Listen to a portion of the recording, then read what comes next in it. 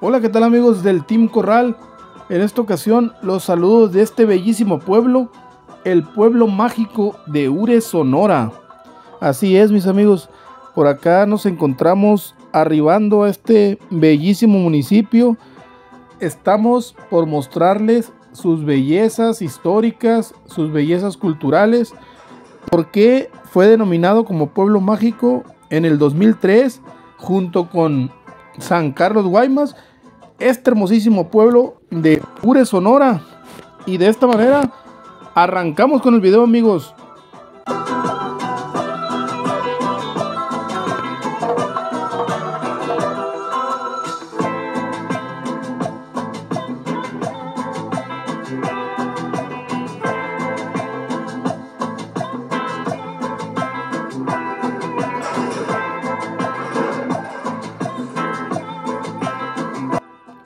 Transitando por sus calles, nos damos cuenta del por qué la llaman la Atenas sonorense y por qué es una de las ciudades más antiguas en el estado de Sonora.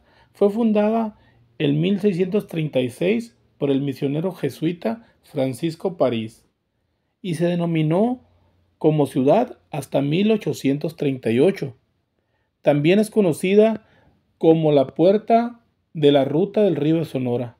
Su nombre oficial es la heroica ciudad de Ures. Pedro Jesús Chovio Ochoa.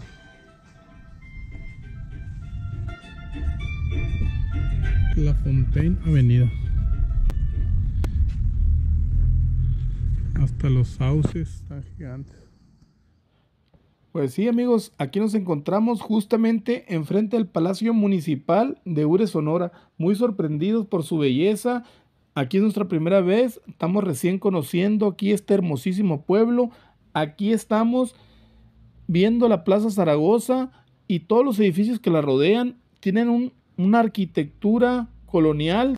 Todos los edificios que rodean a la Plaza Zaragoza la enmarcan con una belleza sin igual, así como su templo de San Miguel Arcángel, que es bellísimo y que no pueden dejar de ver.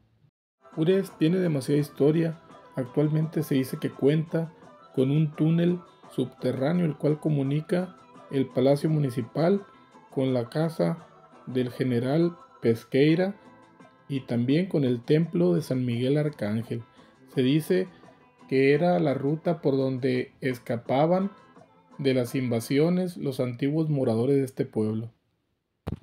Como parte de la experiencia de visitar este hermoso pueblo, no podemos olvidar admirar la majestuosidad de sus edificios antiguos con sus diversas manifestaciones arquitectónicas del neoclásico, particularmente donde se ubica el antiguo molino harinero. Posar bajo el arco de la independencia, admirar la belleza de las esculturas de la mitología griega de la Plaza de Armas, saciarse con el imponente Quinta Nápoles, probar uno de los exquisitos tamales de lote, morder un piloncillo de la molienda y conocer la sencillez de cada familia que habita este lugar, muchos de estos hogares seguramente tendrán en sus gruesas paredes de más de un siglo tesoros aún no descubiertos por el ojo humano.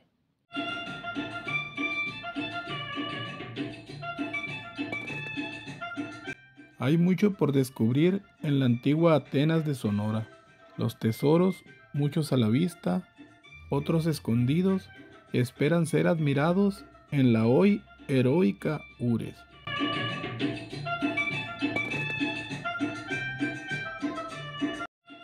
Voy a ver qué calle es por la que venimos. Ahí dice calle Hidalgo y General Guerrero.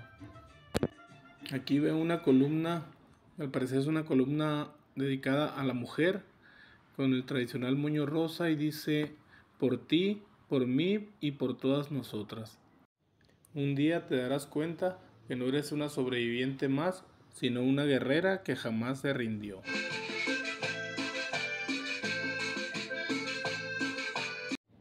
Ures significa gato salvaje. Misión de San Miguel Arcángel de los Ures. Templo de San Miguel Arcángel. Pues aquí, aquí se encuentra la reseña histórica de Ures. Aquí se las dejo si gustan leerla, amigos. Qué belleza. Dijo el compa Camarón, qué belleza, Dios mío. Todo aquí es bien antiguo. Vean la fuente. Una belleza. Pues me encuentro justamente en el templo de San Miguel Arcángel, el cual fue construido probablemente en el siglo XIX. Cuenta con una fachada sencilla rematada por dos torres, en la cual se encuentra una pequeña escultura del santo patrono San Miguel Arcángel. Me ha llamado la atención el apellido La Fontaine, ya que hay una plaza muy famosa de aquí del pueblo que se llama Plaza La Fontaine. Estoy viendo la, la calle La Fontaine y al parecer fue un maestro muy famoso aquí en el pueblo, un maestro de origen francés, José La Fontaine, el cual trabajó aquí 50 años compartiendo eh, estudios con, con Francia directamente. Como aquí Ures tiene bastantes datos históricos, pues no puede faltar el que fue capital del estado de Sonora en dos periodos. Así es amigos, el primero fue de 1838 a 1842 y el segundo periodo fue de 1847 a 1879. También es conocida como la Atenas de Sonora, ya que en la segunda mitad del siglo XIX fue cuna de distintos poetas y profesores los cuales marcaron una gran historia en la región.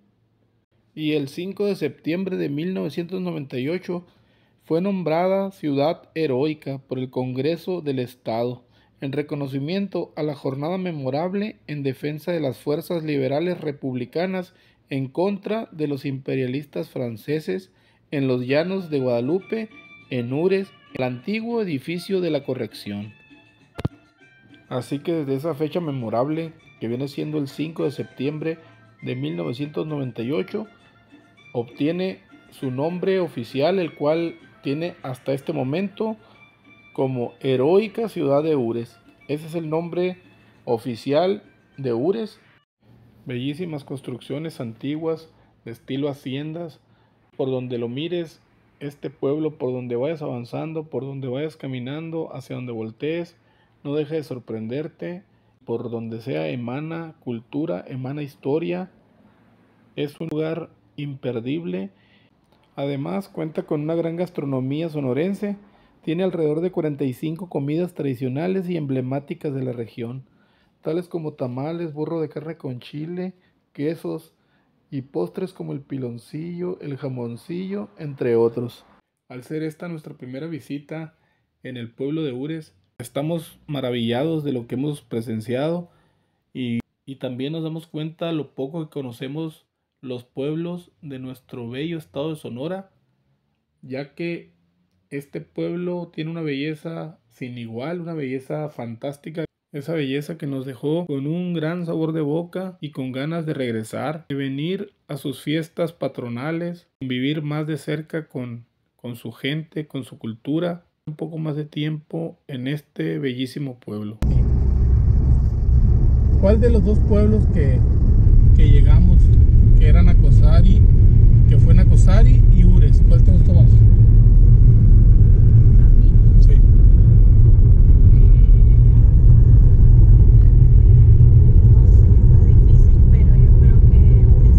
Ures. A mí también, porque a lo mejor porque no, conozco, no conocía y Nacosari se me hace muy bonito, pero, pero ya, ya he ido muchas veces, ya conocía, no sé, me, no me sorprendí tanto, pues. Pero Ures se me hace como que es una parte que no está muy explorada, o sea, no, no lo documentan mucho, pues. Y está muy bonito, muy colonial. Se me hizo igual o hasta más, no sé, no sé qué tan colonial, pero, pero así como Álamo